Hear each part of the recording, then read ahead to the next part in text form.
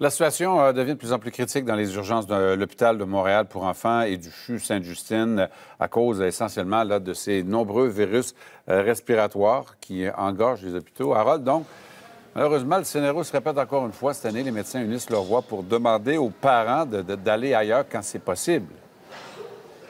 Oui, vous l'avez dit, beaucoup de virus respiratoires. Je vais vous montrer tout d'abord un tableau parce qu'il y a une conférence de presse qui vient de se tenir ici à l'hôpital de Montréal pour enfants où on est actuellement.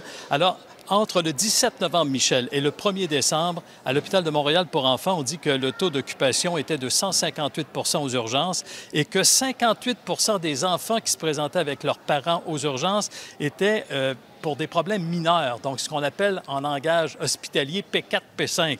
Et à Sainte-Justine, pendant ce temps-là, euh, taux d'occupation 172 mais 37 des enfants auraient pu être vus ailleurs qu'aux urgences. Donc, les parents, souvent, ne savent pas où aller, se présentent aux urgences et on posait la question au docteur D'Angelo, qui est le chef des urgences, pourquoi est-ce que les parents viennent aux urgences s'ils pouvaient se retrouver ailleurs? Bien, il y a de très jeunes enfants qui ont de la fièvre. Les parents ont peur du VRS, du virus syncytial, entre autres. Alors, je vous laisse entendre docteur D'Angelo, chef des urgences de Sainte-Justine, et également la chef des urgences de l'hôpital de Montréal pour enfants.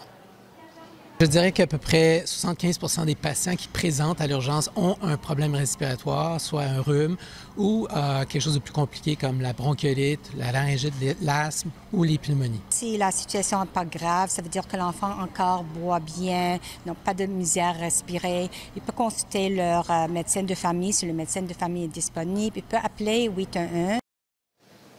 Vous en rappelez peut-être, Michel, en 2021, le gouvernement du Québec, le ministre Dubé, avait créé des cliniques pédiatriques désignées. Alors, ça pourrait peut-être être une solution parce qu'on dans les deux semaines qui avaient suivi, le taux d'achalandage aux urgences, entre autres à Sainte-Justine, avait diminué de 30% Là, ce qu'on craint, c'est que ça remonte pour le temps des fêtes parce qu'il y aura beaucoup de rencontres, entre autres, avec des adultes.